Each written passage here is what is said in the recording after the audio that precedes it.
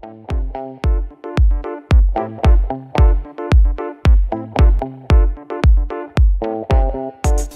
you're listening to Abstract AF, and in this episode, we're going to talk about the Indian classic Nectar in a Sieve by Kamla Markandaya. This novel was published in 1954 and follows the story of Rukmini, who is married to a poor farmer called Nathan. It usually takes me one or two days to finish novels the size of Nectar in a Sieve, but due to the dry nature of the story, it took me almost seven days to read it. Let's first talk about the title and then I'll quickly go through the plot. The title, Nectar in a Sieve, is actually a line from a poem by Samuel Taylor Coleridge which was composed in 1825. In the poem, Coleridge says that work without hope draws nectar in a sieve. Now, there can be multiple interpretations of this line, but in terms of the novel by Kamla, Nectar in a Sieve is about how the fruits of one's hard work can last only temporarily and eventually they'll keep depleting until you have nothing left. Rukmini, the protagonist in the book, is married to a very simple farmer called Nathan who lives in a small hut and works in a field that does not belong to him. As a newlywed couple, they live fairly happily. Rukmini helps Nathan in the field and also grows vegetables in a small patch near their hut. The vegetables and rice that they grow is enough for them to consume and even sell at the market. But as their family expands, they are unable to sustain themselves just by the land.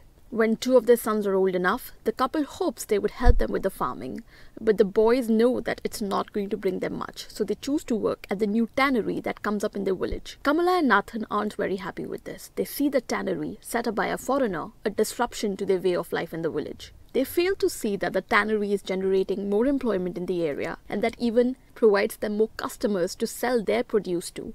Eventually, the couple reconciles to the decision of their sons because they're able to bring in more money and the family is finally able to live comfortably again. But, like the title suggests, nothing can last too long and the family starts facing a lot of financial troubles again. Now, a lot of readers find this book to be depressing because the protagonists are extremely emotional and get worked up for small things, and also because they're perpetually starving and having some or the other problem. But for me, annoying is the more accurate word. I just kept getting annoyed at Rukmini and Nathan for being too simple minded and stupid. The author herself voices the same view about her protagonists through a character in the book called Kenny. He's an Englishman who often laments at how folks like Rukmini know nothing about living and never learn any lessons. And he's right, despite being so poor, Kamla and Nathan keep having baby after baby which leads them to them having to starve themselves because they don't have enough to feed around and pass around. One of the kids eventually dies of starvation in the book. Honestly, at one point, this novel felt like a great handbook for population control. You can tell the story to poor people and scare them against having more kids. Although it's not 1954 anymore, people have easy access to birth control measures, and if they have to have a whole bunch of kids, a sad story from the previous century is not going to stop them. That's what Nectar in a Sieve was for me a sad story. It doesn't have the power to stir up your emotions like Munshi Premchand's Godan. Kamla's novel is just not layered enough. Except for poverty, the protagonists don't really have any other problems. And even their poverty seems to have been brought upon them by themselves. While they were living comfortably as a family of three, they decide to have a hundred more kids and staff half the time. So, so hunger and food is a big theme in this book.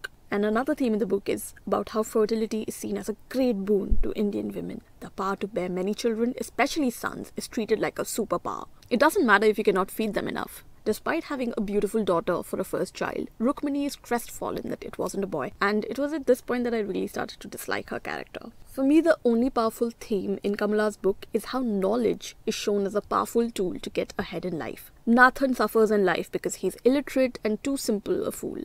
Rukmini can read and write, but because of being a sheltered girl child who had never seen the real world and was married off at the age of 12, she knows very little of life beyond her own village.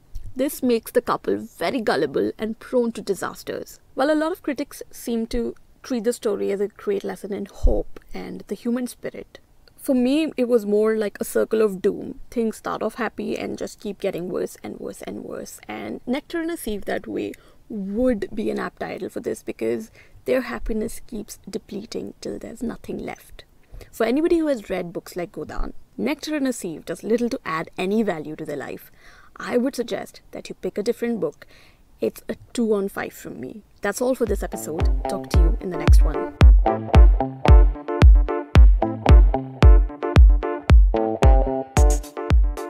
Follow me.